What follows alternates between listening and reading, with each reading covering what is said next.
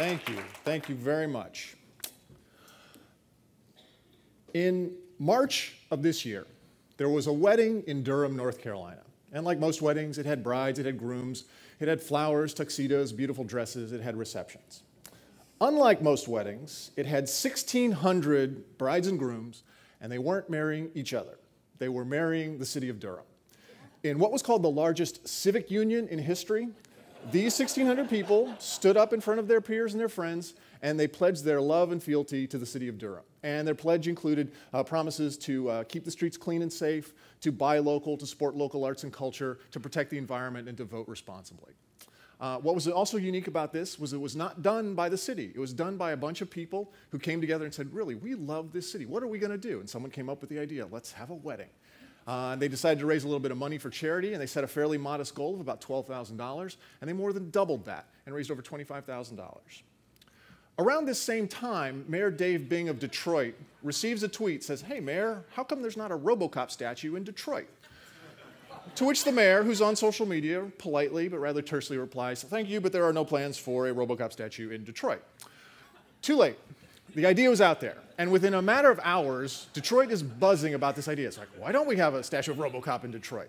And so a Facebook group uh, forms within a, matter of hours, and all of a sudden now people are saying, we're going to build a Robocop statue. And instead of going to the city or to the Arts Council, they say, no, no, no, we're going to fund it ourselves. And they start this Kickstarter campaign, and within a matter of days, despite what the local press called irony run amok, um, they raised over $67,000 to build this statue, and it's actually going to happen. It's pretty amazing. Now, what do those two stories have in common? Well, they start with people who are emotionally engaged with their city, people who love their city, and people who want to do something above and beyond ordinary citizenship and maybe do something extra extraordinary for their city. Now, we'd like to think that that's actually a fairly common notion, but it turns out it's actually not.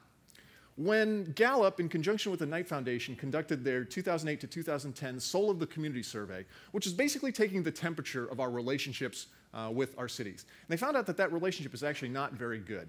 40% of people said that they were unattached to their cities, 36% say they're uh, neutral, and just 24%, less than one quarter of us, say that we are attached to our cities.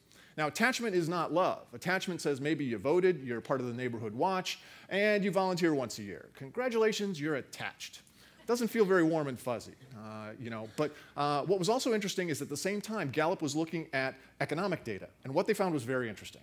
The cities that had the highest levels of emotional engagement, uh, passion, and loyalty also had the highest levels of local GDP and economic vitality. Now, they were not going to go so far as to say these were causal, but they were clearly one of those interesting statistics that move together. And we pay attention to those statistics that move together.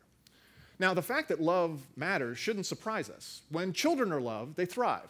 So too with pets, plants, and objects. And I do mean objects. And let's take, for instance, the car, because almost all of us have some sort of relationship, mostly a love hate relationship with a car, right?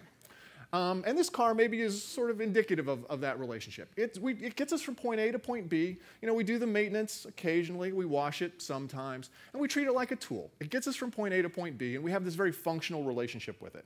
And I think many of us probably have a very functional relationship with our city. But think about the car. We all know somebody who loves cars, right? They're the ones who are out there on the weekends waxing it with a diaper. They change the oil even if they haven't driven it an inch, and they love that car.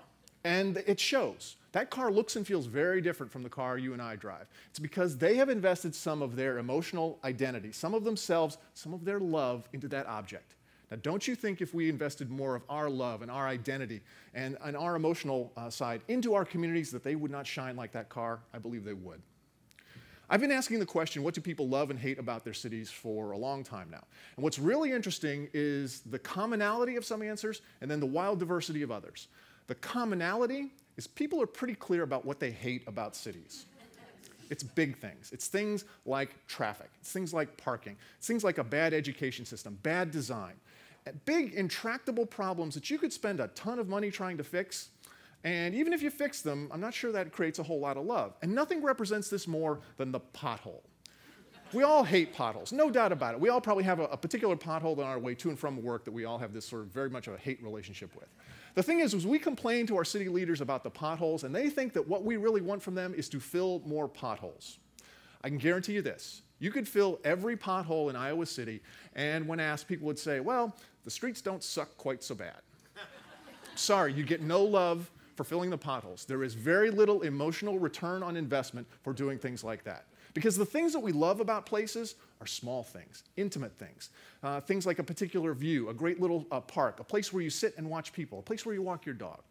Personal things. And I liken these things to that handwritten note that goes with the card, or excuse me, goes with the gift. And gentlemen, we've all had this experience at one point in our lives when we forget to give the card to our significant other. We learn very quickly that that card really does matter.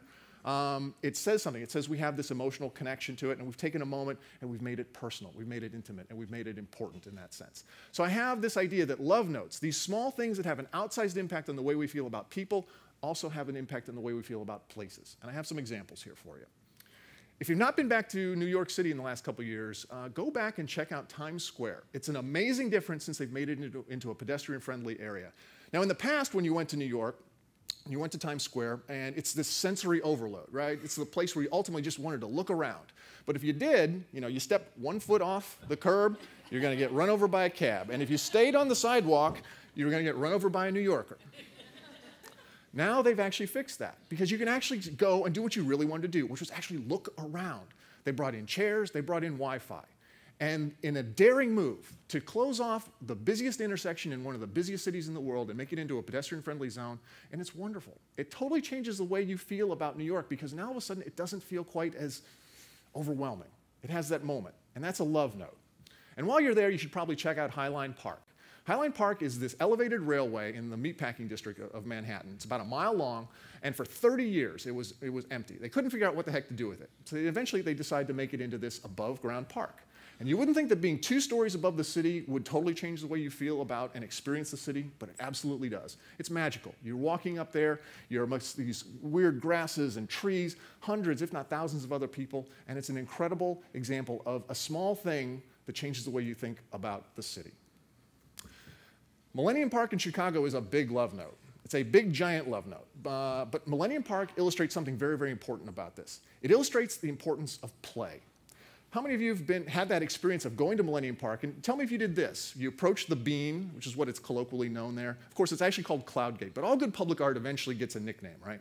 So you approach the bean, you find yourself, you take your picture, you take your friend's picture, you take this skyline picture, you see kids lying underneath of it taking their picture because it's like this giant sort of funhouse mirror. And then right next to it, you have these two towers that have these video faces on them and they move. And then during the warm months, they actually uh, have this, these water cannons and it creates this above ground pool. Play. Think about how important play is in the context of our personal relationships. Those moments that we have with our friends and family that are unstructured, unplanned play, those are the bedrock of our, uh, of our deep emotional relationships. We need to find more ways to play with our city. This is the Tampa Museum of Art. This is pretty new. It just opened within the last year or so. And I love the museum. It's fantastic. Great, you know, architecture, great collection, really cool. But there's a couple elements that I think are even maybe more important than the museum itself. That's the dog park that's out back on the river and the playground that's out front uh, of it. Now, I know the, the museum has to be there to anchor that, but in the grand scheme of things, I think those, that dog park and that uh, playground actually humanize that museum in a way that you wouldn't otherwise think. Now, as high minded as we'd all like to think of ourselves, like, oh, of course, I always go to the museum, right? Well, how often do we really go in and experience that? You know, maybe when friends come into town where there's a great, there's a great exhibit, but people on a, on a near daily basis are getting use out of that dog park and that playground. And I'm sure at some point they said, do we really need that dog park? And isn't that playground really just a lawsuit waiting to happen? Well, fortunately, they said no. Those are two important elements that add to the, the to the, the importance of that museum, and in fact, elevate that museum even more in, in the sense of making it more human. This is the Saturday morning market in downtown St. Petersburg where I live. And in, like many places, a lot of places have you know, a farmer's market. And it, you don't think of farmer's markets as being sort of really important, but they really are. I like to say that this is where St. Petersburg goes to meet itself. And on a typical Saturday, there'll be 10,000 people who come down there, 120 vendors, people with kids, their dogs. Uh, the former mayor used to come and play his guitar uh, down there. And I think that was a pretty good move politically. And you don't think, again, as these things as being important, but they really are because these are the things that attach us to our places. Now, I have a few more things that make cities lovable. Um, any of you have kids or grandkids? You know, dinosaurs make things lovable. They do. And this happens to be the, uh, the Children's Museum in Indianapolis, and it's part of their outdoor facade. And there's multiple dinosaurs that are all around there. And it's wonderful. And it's just sort of this simple expression of fun and things like that. But if you can figure out how to add dinosaurs pretty much to anything, I think yeah, that's a winner. Rituals and traditions make for lovable cities. And this is uh, Providence, Rhode Island. This is Waterfire. Uh, it was started about 15 years ago by an artist by the name of Barnaby Evans. And they anchored these braziers in the river that runs through downtown uh, Providence. And they put cords of pine wood in it and they light them on fire. It's water and fire. It's the most basic thing in the world, and it's absolutely magical. When you go there, uh, it's, it's happening. You hear the crackle of the wood, you smell the pine smoke. It creates these great sort of dancing shadows because the light is moving. Magic. Think about how many times we've had the experience of sitting in front of a, of a campfire or a bonfire. We're mesmerized by this stuff. Now imagine taking that to a municipal level and you have the idea of what water fire actually is. And a few years ago, I had the opportunity to participate in what they call a lighting ceremony. And like the villagers out of a Frankenstein movie, we carried these torches from, you know, from City Hall down to the river. We place them in this big urn, and from this urn, they actually light uh, all of Waterfire. And this has become central to the identity of that city. And if you're a tourist, you want to go to Providence, you want to go when Waterfire is happening. Zombie walks. Folks here know what a zombie walk is? It's a, yeah, it's a, for those of you who don't, you know, not everybody, not everybody's as cool as these guys. Um, it's this really slow moving parade, uh, brains. And people dress up and they sort of shamble through town. And really good zombie walks have like designated victims as well. You know, so I might be dressed very normally, except I've got maybe goat entrails stuffed in my shirt, and the zombies descend upon me amidst much screaming, guts, blood, things. You know, fun. Um, not everybody. But zombie walks in Pittsburgh go like this, hand in hand, because of a movie called Night of the Living Dead by George Romero.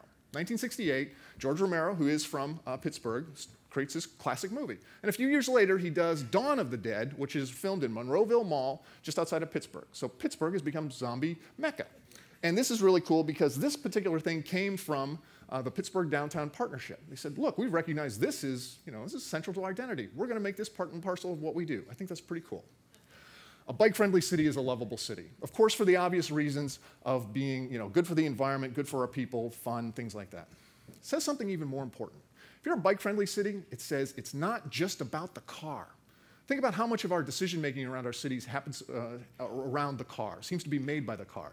If you're a bike-friendly city, it says, you know what, there's room for something else, and there's room for a different way of thinking here. That's an important message that people do connect with. People do realize that.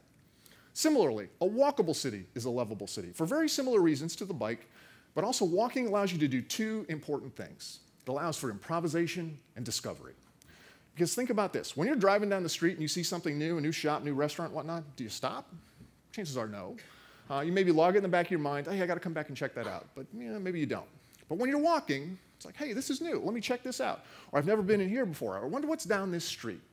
And how wonderful is it to discover something new about a city that maybe you've lived in all your life?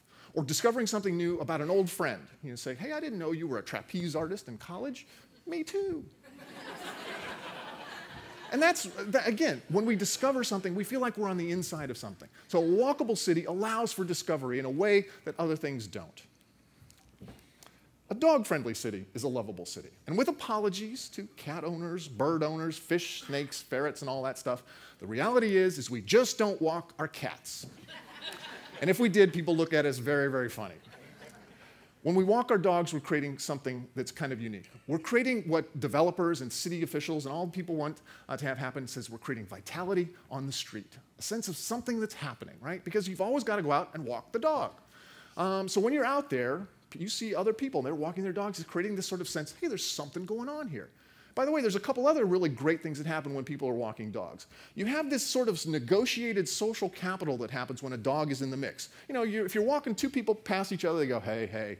We're in the Midwest, maybe it's a little friendlier than that. But you know, for the most part, uh, it's, it's kind of, yeah. But if there's a dog in the mix, you look at the dog, you look at the owner, the dog wags his tail, you smile at the dog, you, you talk to the owner. Maybe there's something going on there. It just creates a slightly different feel, and that's social capital. And by the way, in an era where we can't afford more police, more surveillance equipment and things like that, uh, the dog walkers create a sense of safety. Not because this, you know, not because the little puggle is going to be a killer, you know, guard dog, but because there's simply more people out there and eyes on the street. And what Jane Jacobs, the great urbanist, said, when we feel safe is when we see, we sense the eyes of strangers on the street. because there's nothing worse than going, walking down a perfectly empty street. We've all felt that. But ultimately, the element that makes for the most lovable cities are the people themselves who are in love with the city. The ones who are those living embodiments of a love note. They're the ones who, who started Marry Durham. They're the ones behind Robocop in Detroit. And they're exemplified by my friend here. This is Bob Devin Jones, uh, who's a creative director uh, of a small black box theater in downtown St. Petersburg where I live. And Bob is the quintessential co-creator in the sense that everything he does seems to have an outsized impact on the city. Yet he does not show up on any traditional org chart you know, for the city. Um, but clearly, Bob is one of these central connectors that make St. Petersburg a great place to live. And I bet all of you know somebody in your own community that's like Bob. It's like, man, if we lost that person, think about all of the stuff that we would lose. It's not just that one person, but all of that great stuff that they produce, the way they feel about the place, and the way that's it's infectious. You know, when somebody really loves a place, we sense that, and we feel better about that place. Bob is like that. And the thing that's interesting is that Bob is like the best spices that goes in making a great dish. And I know you don't actually need a lot of those great spices, and I know this because Wikipedia tells me so. and not for the reasons that you think. Most every one of us here has probably used Wikipedia, right? But very few of us have probably ever made a Wikipedia entry. And in fact, statistics show that less than 1% of all of the users of Wikipedia have ever made an entry for Wikipedia. Less than 1%. It's what uh, uh, statisticians call a power law distribution and uh, sociologists call a, a, um, uh, a, participation inequality, which is a fancy way of saying that there's a very small number of people who do all the work and the rest of us sort of consume. And that's fine. Um, I believe that physical communities follow a very similar rule. And if we believe that, that 1% of the community actually really makes the content that is the community, I mean, let's face it, all of us consume our cities, right? And in return, you know, we obey the law, we pay our taxes, and we spend our money. But there's a small number of folks, and you probably know them. You guys probably are them, who are actually creating content for the city that the rest of us consume. And I think that if we actually looked at that and we started to think about our economic development strategies and how we go about this, we might change some things. Let's think about this. If 1% is actually making the city, that means in Cedar Rapids we've got about uh, 126,000 people, and so that means there's about 1,200 folks. And here in Iowa City, 67,000 people, which means there's 670 odd folks who are really making the city, both officially and unofficially. What if we were to add just one tenth of 1% and take that number just up by 10%. 67 more content creators, people who are going to start businesses, people who are going to do extraordinary things, people who are going to love the city, people who are going to start TEDx's, things like that. Don't you think that would have an exponential impact on the quality of life that happens here in the city? I do. To me, this is the new math in talent attraction and retention, and it's something we need to think. We need to find more lovers for our cities. Because there's a gap the gap between the city that we desire and the city that we can afford, and we feel it every day. Into this gap is going to step people who are emotionally engaged, the ones who love their city, the ones who give a damn. Think about that. We need more of those folks because when we love something, we go above and beyond. We do extraordinary things for it. We fight for it. And here in a place where Iowa is affected by the floods and many cities felt, you know, or many people felt like they might have lost their city, this is a powerful, powerful tool. Because I believe if we add the human heart to the conversation, if we add the human heart to our toolbox of community and economic development, that to me will prove to be the most powerful tool of all in creating not just livable cities, but creating lovable cities. Thank you very much.